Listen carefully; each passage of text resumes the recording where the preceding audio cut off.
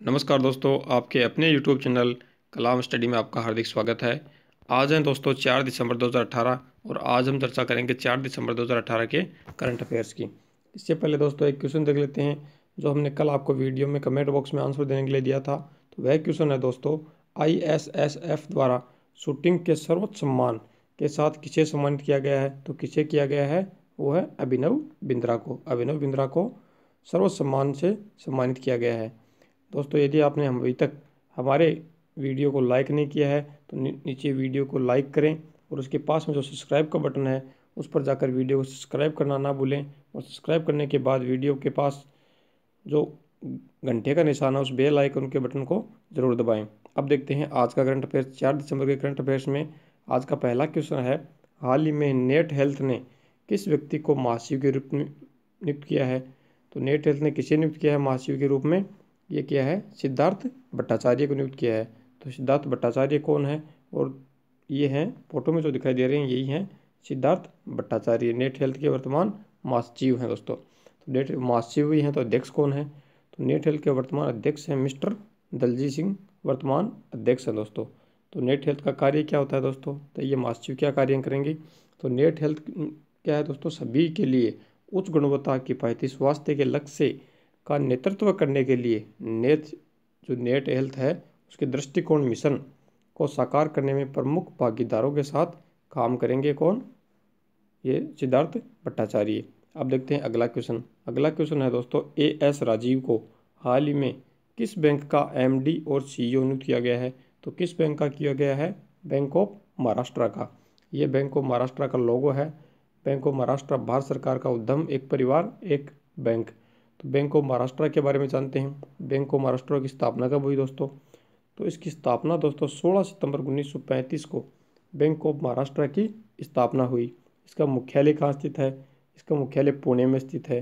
तो राजीव को कब ज्वाइन किया गया? एमडी तो राजीव को दोस्तों 2 दिसंबर 2018 को।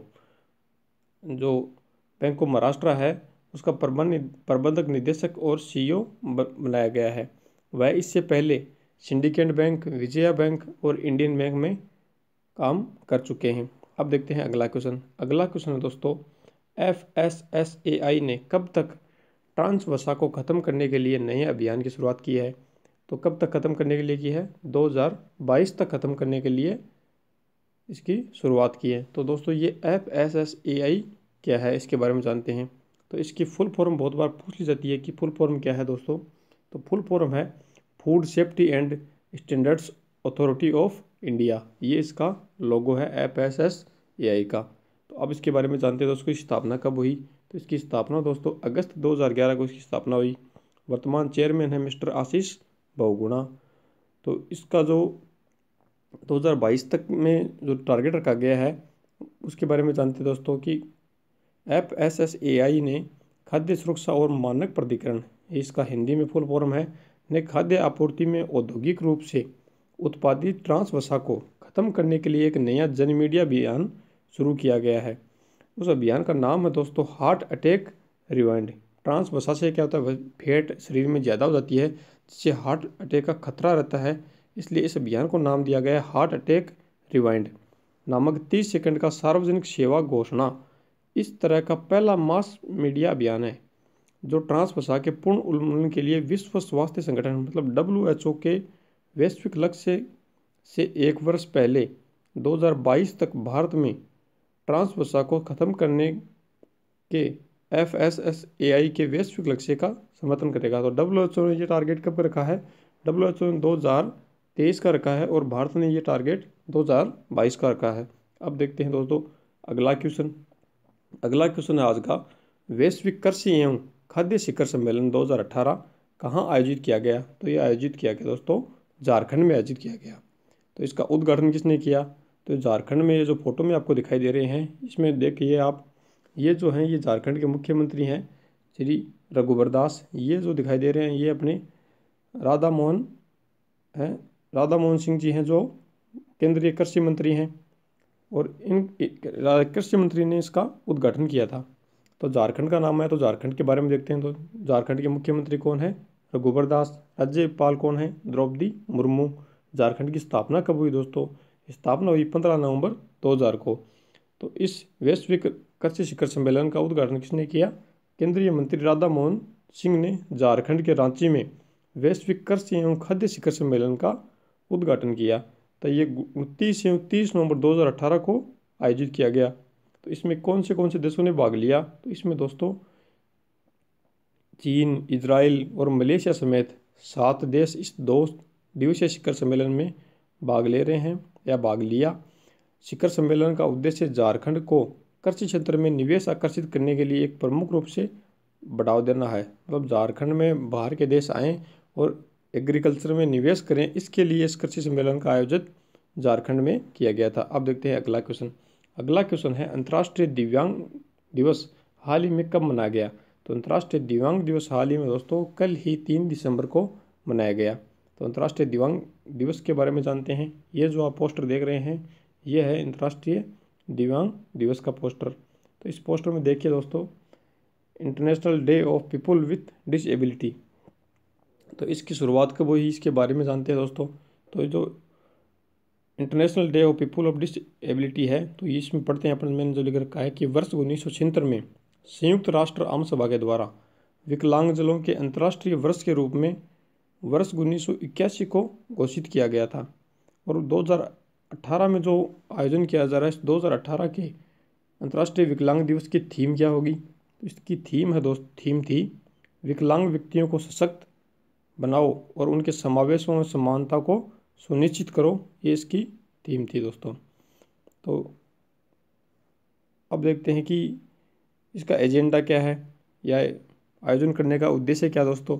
तो International Day of People of Disability का आयोजन करने का उद्देश्य यह है कि यह विशेष सशक्त विकास के लिए 2030 एजेंडा में शामिल समावेशी न्याय संगत और टिकाऊ विकास के लिए विकलांग लोगों को सशक्त बनाने पर केंद्रित है। मतलब विकलांग लोगों को समाज में भागीदारी बढ़े और ये अपने स्तर पर कार्य कर सकें और देश की सेवा में और देश के विकास में महत्वपूर्ण योगदान दे सकें तथा इनकी, इसलिए इस दिवस का आयोजन हर वर्ष तीन दिसंबर को किया जाता है। अब देखते हैं अगला क्वेश्चन। अगला क्वेश्चन है, पुणे इंटरनेशनल मैराथन के विजेता कौन है? तो पुणे इंटरनेशनल मैराथन है, ये कहाँ आयोजित किया गया ये पुणे में आयोजित किया जाता है। इसके विजेता हैं अटलावीम डेबेबे। अटलावीम डेबेबे के वर्तमान विजेता हैं इस वर्ष के। तो ये इस वर्ष कौन सा इंटरनेशनल मैराथन है जो पुणे में आयोजित किया गया? तो ये पोस्टर में देखिए आप। ये तैतीसवां पुणे इंटरनेशनल मैराथन है जो दो दिसंबर 2018 को आयोजित किया गया दोस्तों। तो ये जो विजेता हैं ये कौन से देश के हैं, इनके बारे में देखते हैं। तो ये जो विजेता हैं पुणे इंटरनेशनल मैराथन के, ये दोस्तों इथो इथियोपिया के अटाला विम डेवेबे ने दो घंटे सत्रह मिनट सत्रह सेकंड के समय के साथ पूर्ण मैराथन जीत ली है। ये तो थे पुरुष वर्ग में तो महिला वर्ग में किसने जीती है? तो महिला वर्ग में दोस्तों, पूर्ण मैराथन में केन्या की पास कलिया चेपकोगी ने दो घंटे पचास मिनट और सत्ताईस सेकंड के समय के साथ प्रथम स्थान किया, प्राप्त किया है। तो प्रथम स्थान पर दोस्तों पुरुषों में अटालाविम डेबेबे आए हैं तो सेकंड और थर्ड पर कौन आए हैं? तो सेकंड और थर्ड पर जो आए हैं, उनका नाम है दोस्तों, सेकंड स्थान पर आए हैं तेसोम गेटाकू और थर्ड स्थान पर बेकेले एसेफा आए हैं। अब देखते हैं अगला क्वेश्चन अगला क्वेश्चन है, काटोवाइस जलवायु परिवर्तन सम्मेलन 2018 कहाँ आयोजित किया गया? तो ये काटोवाइस एक जगह का नाम है जो पोलैंड में पड़ती है। तो इसका आयोजन कहाँ किया गया? पोलैंड में आयोजन किया गया जलवायु परिवर्तन सम्मेलन का आयोजन। तो पोलैंड के बारे में जानते हैं दोस्तों। तो पोलैंड की राजधानी कहाँ है? तो पोलैंड की राजधानी है वारसा। पोलैंड की राजधानी है। वर्तमान राष्ट्रपति कौन है? वर्तमान राष्ट्रपति हैं दोस्तों आंद्रेज डूडा। तो ये जो जलवायु परिवर्तन सम्मेलन है तो शिखर सम्मेलन का क्या उद्देश्य है, इसके बारे में जानते हैं। तो संयुक्त राष्ट्र जलवायु शिखर सम्मेलन, यानी सी ओ पी एक वैश्विक सम्मेलन है, जिसके दौरान जलवायु नीति के लिए कार्रवाई की बातचीत की जाती है। तो इसमें विभिन्न देशों के सदस्य भाग लेते हैं। अब देखते हैं अगला क्वेश्चन अगला क्वेश्चन है दोस्तों, भारत संयुक्त भारत और संयुक्त अरब अमीरात यूएई की संयुक्त आयोग की बैठक के बारहवें सत्र की सह अध्यक्षता किसने की थी? तो सह अध्यक्षता करती, किसने की दोस्तों देखते हैं। ऑप्शन नरेंद्र मोदी, राधा मोहन, अजीत डोभाल और सुषमा स्वराज। तो इसकी अध्यक्षता दोस्तों किसने की? सुषमा स्वराज ने की थी। ये जो आप फ़ोटो में दिखाई दे रही हैं, ये हैं अपनी विदेश मंत्री सुषमा स्वराज। तो इनके बारे में जानते हैं। तो अपनी बात आई यूएई की। तो यूएई की वर्तमान राष्ट्रपति कौन है? तो यूएई के वर्तमान राष्ट्रपति हैं खलीफा बिन जयद अल नयान वर्तमान राष्ट्रपति हैं। तो यूएई की राजधानी कहाँ है? राजधानी दोस्तों, को कल वाले वीडियो में मैंने बताया था, यूएई का नाम आया था तो। तो राजधानी है अबू धाबी। मुद्रा क्या है? मुद्रा दोस्तों है अमीरात दिरहम है। यह है मुद्रा। तो संयुक्त अरब अमीरात की मुद्रा है अमीरात दिरहम। तो अब जानते हैं इस मीटिंग के बारे में। तो श्रीमती सुषमा स्वराज यूए गई थी तो वहाँ पर उन्होंने आधुनिक संयुक्त अरब अमीरात के संस्थापक शेख जायद के जन्मदिवस व महात्मा गांधी के जन्मदिवस के डेढ़ सौ वर्षों के जश्न के लिए अबू धाबी में गांधी जयद डिजिटल संग्रहालय का भी उद्घाटन किसने किया?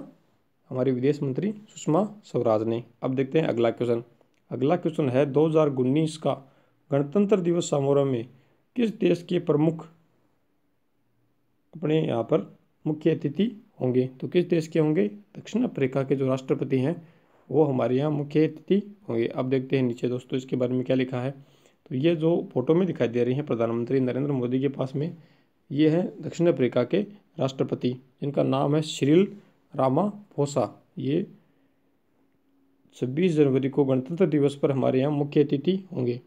तो दक्षिण अफ्रीका की राजधानी क्या दोस्तों? तो दक्षिण अफ्रीका की प्रशासनिक विधायी और न्यायिक राजधानी तीनों अलग अलग हैं तो प्रशासनिक राजधानी है प्रिटोरिया और विधायी राजधानी है केपटाउन और न्यायिक राजधानी है ब्लो एम फाउंटेन न्यायिक राजधानी है। तो दक्षिण अफ्रीका की मुद्रा क्या है? तो दक्षिण अफ्रीकी रेड दक्षिण अफ्रीका की मुद्रा है। अब आज का लास्ट क्वेश्चन देखते हैं। लास्ट क्वेश्चन है दोस्तों, एशिया प्रशांत शिखर सम्मेलन 2018 कहाँ संपन्न हुआ? तो कहाँ हुआ? ये हुआ नेपाल में संपन्न हुआ था। तो नेपाल में संपन्न हुआ तो तो ये एशिया प्रशांत शिखर सम्मेलन क्या है दोस्तों? इसके बारे में देखते हैं तो नेपाल के बारे में जानते हैं। ये एशिया पैसिफिक समिट 2018 नेपाल में है। ये जो संबोधित कर रहे हैं, ये है नेपाल के प्रधानमंत्री के पी शर्मा, ओली हैं। तो अब देखते हैं इस सम्मेलन के बारे में। दोस्तों, नेपाल की राजधानी काठमांडू में इसका आयोजन किया गया। तो इसमें सम्मेलन में भारत सहित पैंतालीस देशों के लगभग पंद्रह सौ प्रतिभागियों ने शिखर सम्मेलन में भाग लिया। तथा शांति, विकास, सुशासन और संसद सदस्यों की भूमिका, जलवायु परिवर्तन, मीडिया की भूमिका सहित विभिन्न वैश्विक मुद्दों पर इस शिखर सम्मेलन में एशिया प्रशांत शिखर सम्मेलन में चर्चा की जाती है दोस्तों। तो इस वर्ष के शिखर सम्मेलन की थीम क्या थी? तो इस वर्ष के शिखर सम्मेलन की थीम थी हमारे समय की महत्वपूर्ण चुनौतियों, चुनौतियाँ स्वतंत्रता, साझी समृद्धि और सार्वभौम मूल्य थी। ये इस वर्ष की थीम थी। तो नेपाल के इस शिखर सम्मेलन का आयोजन यूनिवर्सल पीस फेडरेशन द्वारा किया जाता है। तो ये पूछ लिया जाए कि इस शिखर सम्मेलन का आयोजन किसके द्वारा किया किया गया है? तो ये यूनिवर्सल पीस फेडरेशन के द्वारा किया जाता है। तो दोस्तों, नेपाल के बारे में जानते हैं। तो नेपाल के बारे में हमने आपको कल भी बताया था कि नेपाल की राजधानी है काठमांडू। नेपाल के प्रधानमंत्री हैं के पी शर्मा ओली। तो नेपाल की जो राष्ट्रपति हैं वो हैं विद्या देवी भंडारी। नेपाल की जो मुद्रा है वो नेपाली रुपया नेपाल की मुद्रा है। अब दोस्तों, एक क्वेश्चन आपके लिए, जिसका आंसर आपको कमेंट बॉक्स में ज़रूर देना था। इस क्वेश्चन के बारे में जितना ज़्यादा जानते हैं, उतना ज़्यादा आपको कमेंट बॉक्स में लिखते हैं। तो क्वेश्चन है दोस्तों 2022 का जी ट्वेंटी शिखर सम्मेलन का आयोजन किस देश में किया गया? ऑप्शन है भारत, अर्जेंटीना, जापान और ब्रिटेन। इनमें से एक आंसर होगा, जिसका आंसर आपको कमेंट बॉक्स में देना है। धन्यवाद दोस्तों, हमसे जुड़े रहने के लिए। कल फिर मिलते हैं एक नई वीडियो के साथ। यदि आपने हमारे वीडियो को अभी तक लाइक नहीं किया है तो पहले वीडियो को लाइक करें और वीडियो को सब्सक्राइब करना ना भूलें। नीचे दिए गए लाल बटन पर जाकर वीडियो को सब्सक्राइब करें तो उसके पास वाला जो बेल आइकन घंटे का निशान है, उसको ज़रूर दबाएँ, जिससे हमारा वीडियो का नोटिफिकेशन आपके पास पहुंचेगा सबसे पहले। और हम सिर्फ़ इंस्टाग्राम पर फेसबुक पर और ट्विटर पर भी आप जुड़ सकते हैं, जिसका लिंक हमने डिस्क्रिप्शन में दे दिया है। और इस वीडियो की पीडीएफ फ़ाइल प्राप्त करने के लिए दोस्तों हम डिस्क्रिप्शन में लिंक दिया है वहाँ से हमसे जुड़े।